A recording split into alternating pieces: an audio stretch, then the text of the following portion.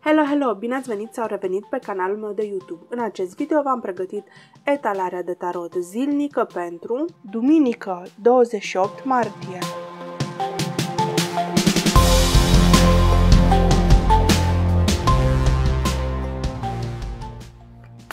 Hai să vedem ce cărți o să iasă pentru această zi de duminică, zi în care avem și faza de lună plină în balanță, finaluri fericite, rezultatele muncii și efortului depus pe sectorul de viață care este guvernat de zodia balanță în astrograma natală a fiecăruia dintre voi.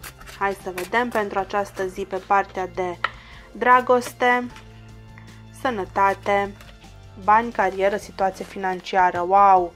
Niște cărți foarte, foarte frumoase pentru această zi.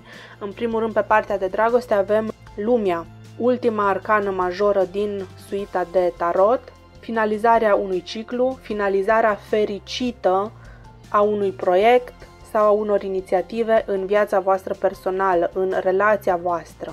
Astăzi ceva se termină și de mâine o luați de la capăt, o luați de la început, într-o nouă aventură, într-un nou proiect. Această carte a mai ieșit pe această poziție în etalările zilnice și joi, pe 25 martie. Prin urmare aici s-ar putea pe sectorul de relații să vedeți că revin anumite teme, anumite topicuri care au apărut și joi. Poate ar fi o idee înțeleaptă să vă uitați și la etalarea pentru 25 martie, mai ales dacă aveți zodia ascendentul, luna natală, Venus sau aglomerare de 4 sau mai multe planete în Taur, Leu, Scorpion, Vărsător, Săgetător sau Pești, dar și pentru ceilalți, pentru toată lumea, această arcană majoră este importantă și ne arată că se întâmplă lucruri pozitive, lucruri frumoase, fericite în relația voastră. Aici vă bucurați de efortul depus în trecut, vă bucurați de rezultatele muncii voastre. Pentru o parte dintre voi, această carte vine și ne vorbește despre o logodnă, despre o căsătorie, despre venirea unui copil sau despre achiziționarea unei locuințe împreună. Orice ar fi, o să aducă mai multă stabilitate în viața voastră. De asemenea, cu lumea, aici e posibil să revină în viața voastră o persoană aflată în străinătate sau e posibil ca împreună cu partenerul sau partenera voastră să decideți să vă mutați în străinătate.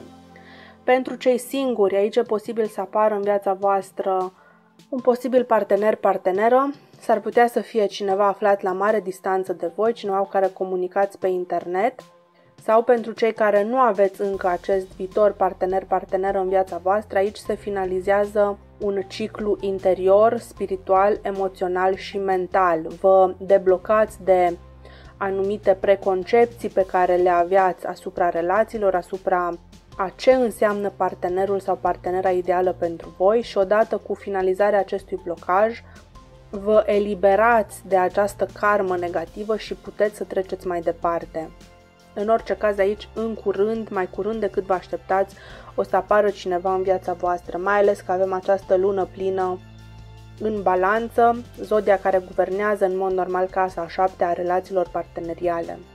Pe partea de sănătate avem aici Cavalerul de Monede. Această carte ne vorbește despre efort depus constant, susținut zi de zi pentru a vă atinge scopurile.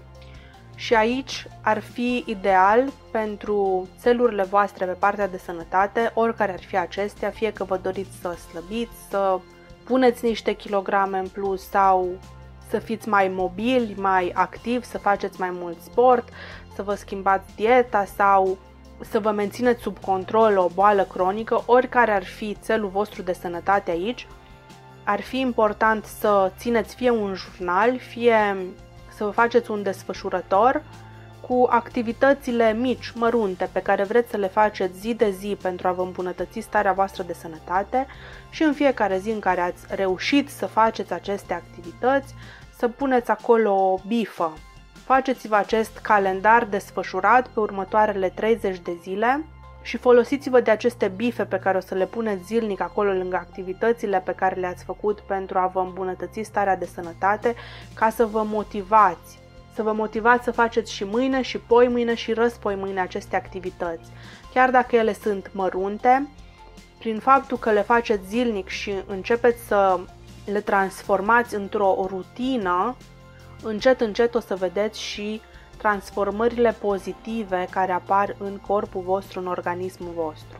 Aici, cu cavalerul de monede, important este să planificați, să vă propuneți anumite țeluri de îndeplinit zi de zi și pe urmă să le îndepliniți. La urma urmei, nici Roma nu a fost construită într-o zi și nici starea voastră de sănătate ideală nu o să se întâmple într-o zi. O să o construiți prin efort depus susținut zi de zi pe o perioadă îndelungată de timp. Pe partea de bani, carieră, situație financiară avem regele de monede, cel mai stabil și cel mai afluent rege din toată suita de tarot. Și o veste foarte bună pentru toată lumea. Pentru cei tineri, fie că sunteți elevi, studenți sau sunteți de-abia la începutul carierei voastre, aici regele de monede ne arată că apare în viața voastră o persoană mai în vârstă, o persoană cu autoritate, o persoană care este de succes în domeniul său de activitate, care o să vă ajute. Profitați de această întâlnire, profitați de faptul că puteți să cunoașteți această persoană, pentru că acest rege de monede poate să vă ia sub aripa sa protectoare și să vă învețe meserie. Să vă învețe ce trebuie să faceți, cum trebuie să faceți, astfel încât să aveți succes în afaceri, în domeniul vostru de activitate. Pentru cei care sunteți deja mai în vârstă, mai avansați în carieră, aici regele de monede e posibil să fie o persoană de autoritate, un superior care vă observă efortul depus, care vă apreciază E o persoană care e bine să o aveți de partea voastră pentru că mai devreme sau mai târziu vă poate ajuta.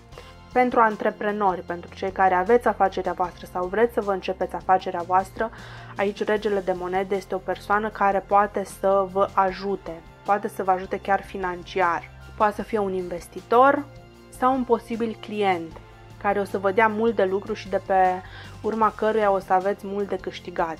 Dacă n-ați rezonat cu niciuna din interpretările pe care vi le-am dat până acum, aici regele de monede ne mai vorbește despre un lucru, despre a vă pune ordine în finanțe. Prin urmare, azi ar fi momentul ideal ca să vă faceți curat în portofel, să vă asigurați că v-ați plătit toate facturile.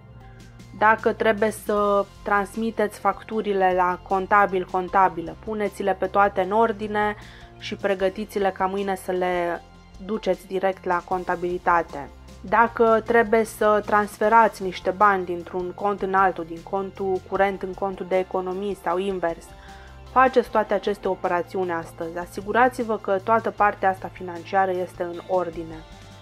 Și înainte să finalizăm această etalare, vreau să vă scot și un card de înțelepciune, un mesaj suplimentar pentru această zi.